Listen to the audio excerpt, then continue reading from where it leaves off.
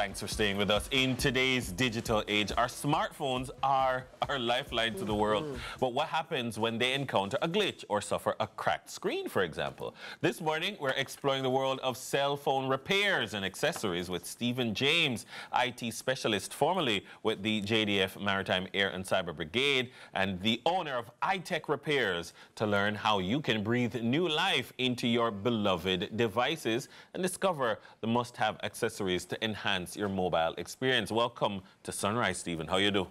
I'm not doing too bad. Good morning. morning. Well, um, yeah, yeah, this is my kind of segment. I'm always changing my phone cases. I'm always trying to protect the device as much as possible. There are different people, different people like different devices, so, um, different protection methods. Mm -hmm. Some people like the bulky case them. I don't like the bulky case them. Some people you have to definitely, whether they like it or not, you have they to give them an OtterBox. mm -hmm. yeah, yeah, yeah. What is the most in-demand um, service that people come to you for? All right. Um, a lot of persons, um, they come for repairs, like for physical damage mm -hmm. and uh, water damage, mm -hmm. as well as they come for phone case charger accessory and unlockings. And surprisingly People enough, still come for unlock? Yes, definitely so. And um, unlocks is one of the most um, profitable part of the phone really? market right now. Yes, oh, wow. because um, mm. you have this thing that they call FRP, which factory protect, um, factory protection. Factory reset protection. Yes, sorry. yes, yes. And um, with that, what it does, it actually lock the devices to the account now.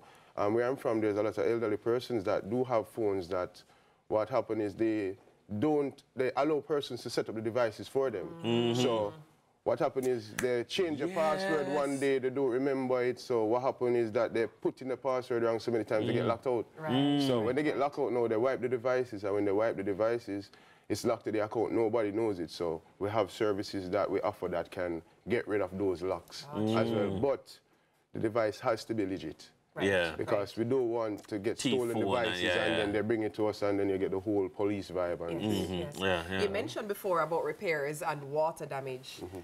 I'm a little triggered by that statement as someone who's lost a phone to water.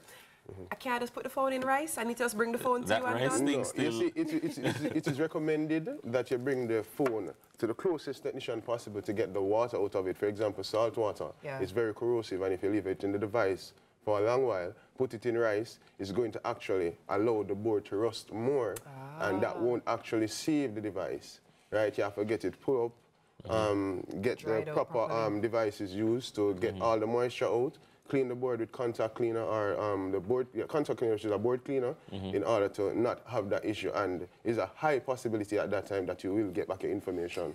So if I if my phone goes swimming, I just need to find Steven as quickly as I possibly can. As quickly as you can. Mm -hmm. Where do I find you? I am located on Whitehall Avenue in the vicinity of Swallowfield Primary. So it's a 12A Whitehall Avenue, Kingston 8, directly in front of Lawrence Drive. I can't miss it. It's no, I know only, exactly where it is, yeah. It's, it's the only, it's the only red building with tiled walls in the area.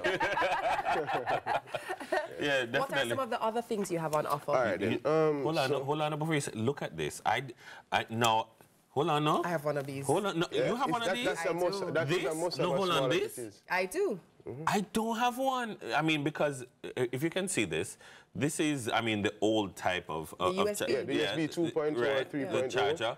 But, I mean, you know, usually... It, but it has a Type-C connection. Yeah, so you use this to connect your Samsung to your MacBook. That's why I have one of those. Mm -hmm. mm. dun, dun, dun. Yeah, because um, or what's could happening? just get an iPhone. Oh, hey, hey, hey, Steven, we're not gonna go there. Go ahead, you were saying. Yeah. So, um, for example, that um, device that you have right there, yeah. that small device. Mm -hmm. No, um, a lot of devices now, new technology. Yeah, it's um, new connections, yeah. faster connection speed. So right now we have a Type C to Type C cable, right? Right. So, God forbid you forget your Type-C brick, yes. yeah. right? And somebody You have that. this nice little contraption here. It allows you to use, make a device backward compatible to use the um, the older yeah. devices. So this, I believe, is one of the must-haves. Mm -hmm. Now, you were speaking about iPhone just now. We have adapters for earphones yeah, yeah. because a lot of person don't like the iPhone earphone, so to speak. Yeah, so you can always get the little adapter and plug it in and it works. And we also have the same for the Samsung Galaxy because if you realize on a lot of devices now, the millimeter, um, the 3.5 millimeter jack mm -hmm. is no longer there. So for the iPhone, it's not there. Specialized headset. For Samsung, it's not there because you know the whole patenting. Mm -hmm. If did research on that. All right. All We're out of time. Thank you very much, Steven. Yes. Steven James has been our guest in this segment. TK is up with the news at 7. Really cool.